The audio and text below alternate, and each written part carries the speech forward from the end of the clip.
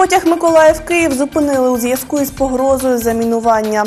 Пориви на тепломагістралях під час підготовки до опалювального сезону. Наскільки готовий Миколаїв до морозів? Дивіться далі. В ефірі телевізійні новини Миколаївщини в студії працює Вікторія Чернявська.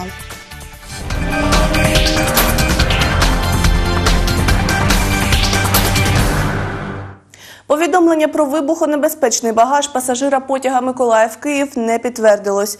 Поліцейські затримали чоловіка, який погрожував застосувати вибухівку. Через дві з половиною години після вимушеної зупинки потяг поновив рух.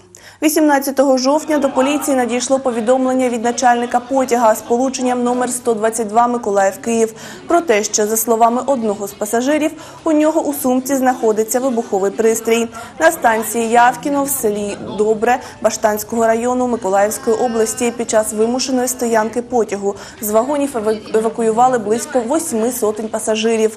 На станцію прибули слідчо-оперативна група та вибухотехніки. більше двох годин поїзд е, перебував на станції Явкіно, допоки проводилися дії з, ну скажімо так, з'ясування обставин нейтралізації цього неадекватного чоловіка. Е, Як з'ясувалося, ніякої вибухівки при ньому не було.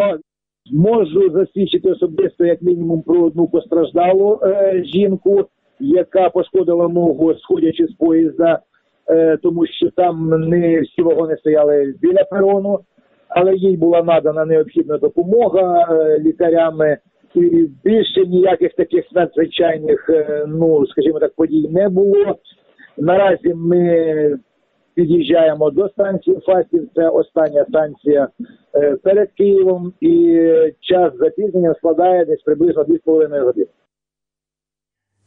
36-річний чоловік, який погрожував застосуванням вибухівки, був у стані алкогольного сп'яніння. Його доставили до Баштанського відділу поліції. Дії чоловіка підпадають під ознаки статті 259 завідомо неправдиве повідомлення про підготовку вибуху, підпалу або інших дій, які загрожують загибелю людей чи іншими тяжкими наслідками, що карається штрафом від 50 до 100 неоподаткованих мінімумів доходів громадян або арештом на строк до 6 місяців або обмеженням волі на строк до трьох років.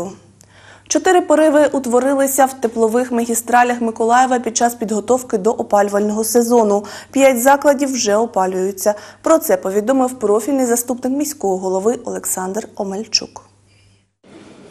Це стало відомо під час 42-ї чергової сесії міської ради. Подачою тепла та утриманням тепломереж в Миколаєві займаються дві установи: комунальне підприємство Миколаїв облтеплоенерго та публічне акціонерне товариство Миколаївська ТЕЦ. Об'єкти першого, де зими готові.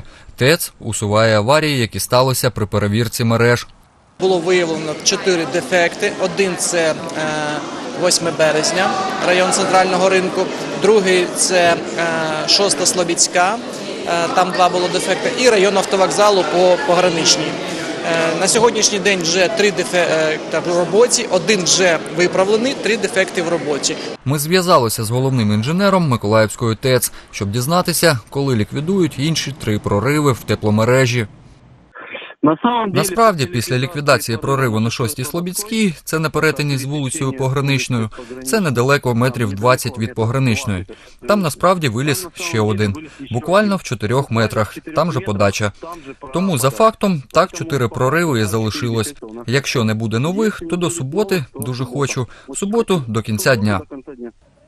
На Миколаївщині подавати тепло в житловий фонд почнуть, коли середньодобова температура 8 градусів з позначкою плюс протримається протягом трьох діб. На об'єкти соціальної сфери в разі необхідності тепло подають раніше. Сьогодні вже є опалення на деяких медичних закладах нашого міста, які замовляють гарячу воду на е,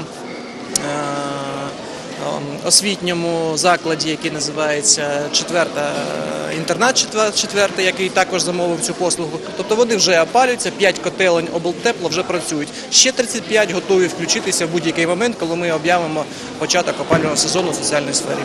Олександр Гордієнко, Артем Белібов, телевізійні новини Миколаївщини. І на цьому я передаю слово у ранкову студію нового дня. Ми ж з вами зустрінемось за півгодини рівно о 8.00. Не перемикайтесь.